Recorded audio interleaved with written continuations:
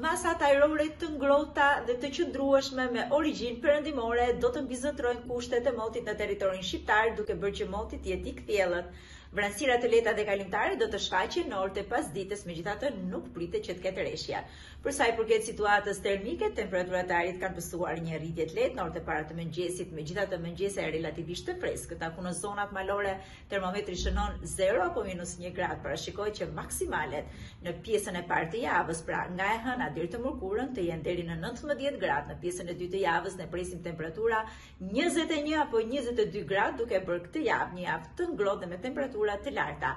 Për sa i përket kushteve të motit për Republikën e Kosovës dhe Maqedoninë e Veriut do të jenë në ndikimin e motit të qëndrueshëm Do të ketë mot të kthjellët, vranësira të lehta dhe kalimtare, të cilat më të fokusuara do jenë në pjesën e dytë të javës. Temperaturat e ajrit në Kosovë luhaten minimalet minus 2 dhe maksimalet 14-15 gradë, por pritet që e premtja dhe fundjava të shënojë dhe temperatura 18 gradë, ndërkohë minimalet në Maqedoninë e Veriut luhaten nga 0 më e ulëta dhe maksimalet deri në 18 apo 19 gradë. Pjesa e parë e javës do të jetë me diell me temperatura relativisht të larta, pjesa e dytë e javës me diell me vranësira dhe me temperatura akoma më të larta.